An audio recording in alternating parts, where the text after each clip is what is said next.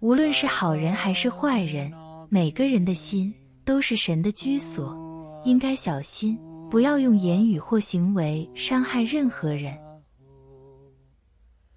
Thy light is in all forms.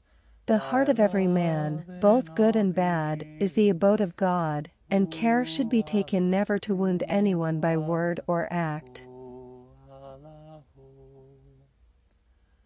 Thy light is in all forms, thy love in all July 16th, The Bowl of Saki by Pir Hazrat Inayat Khan. Thy light is in